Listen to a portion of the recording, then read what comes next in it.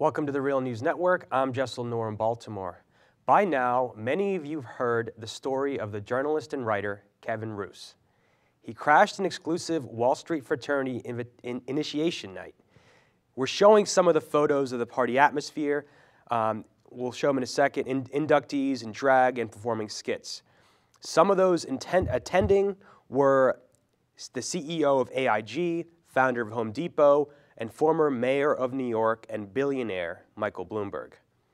We're now joined by Kevin Roose. He's a writer for New York Magazine. His most recent book is titled Young Money. Thank you so much for joining us. Thanks for having me.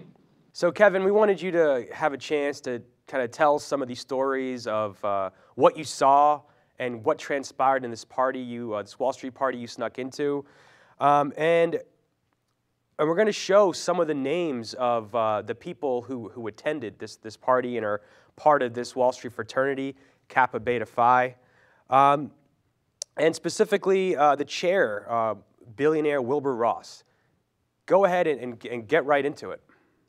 So this was a secret society of Wall Street executives that was 80 years old. It was founded in uh, 1929, and um, and it's uh, it's a society that consists of many of the people who run the global economy, who uh, manage billions of dollars in money at hedge funds, private equity firms, and big banks. Um, so I heard about this, and I decided I had to at least try to go. Um, each year they gather for one dinner where they induct new members. Those members are required to dress up in drag, uh, put on skits and musical acts, and basically humiliate themselves in front of the veteran members. So I rented a tuxedo and I went over to the hotel where it was being held, and uh, and I walked right in. It was amazing. And uh, who is Wilbur Ross? And talk about your interactions with him, because he basically offered to, um, in a way, uh, bribe you with inside information, with being a source if you didn't write about this. Wilbur Ross is a billionaire uh, investor. He's uh, been around Wall Street for a long time. He's very well known, and he was the that year's leader of the the dinner. Um, and so I, I, witnessed this whole thing: uh, off-color jokes, uh, sexist humor, um, jokes about the Occupy movement, things like that. And afterwards, I out, you know I got outed. I, people found out that I was a reporter, and Wilbur Ross sort of snuck me off into the hallway and said, "Look, you know if." you know, if you uh, if you don't write about this or if you take it easy on us, um, you know, the people in this room could be very good sources for you, and, and I'll pick up the phone anytime you need. So he was basically, you're right, saying, uh, you know, I will bribe you in order to to get a better treatment out of this. And there's another main character in your piece, uh, Michael Novogratz. Um, who is he, and what was your interaction with him? Well, he was the one who outed me. Uh, so he um, he's a billionaire hedge fund manager with Fortress Investment Group, and he was seated at my table at this dinner.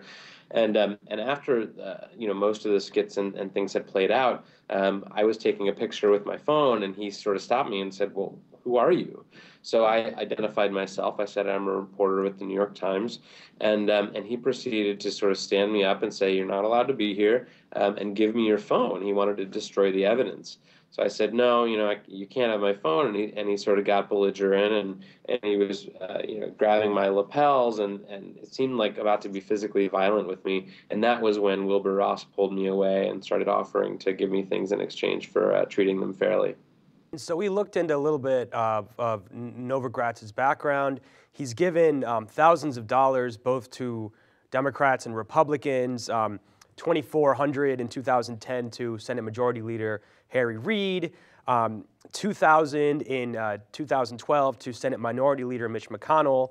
Um, he's given um, several thousand dollars to Democrats for Education Reform, which promotes uh, the privatization of public education, charter schools. Uh, so a lot of these figures are giving money to both the Democrats and Republicans. In, in a, and so what's your, what's your response to that? Well, this is not a, a political organization, Kappa Beta Phi. It's it's a professional one, and, and everyone who works there, you know, works on Street, and they span the, the range from Democrats to Republicans and probably you know everything in between. So I don't think you know it's fair to draw conclusions about the political leanings of the group as a whole. Um, I will say that I think that there's sort of a, a political class in New York uh, made up of these wealthy Wall Street donors who tend to support both parties. They're sort of hedging their bets. You know, whoever tends to win, um, they want to be in league with, and so they, you know, sometimes will donate to both sides of the aisle. Right, and critics would say that. Uh, they that both political parties are really protecting this group's interest because of the vast donations they're giving to both.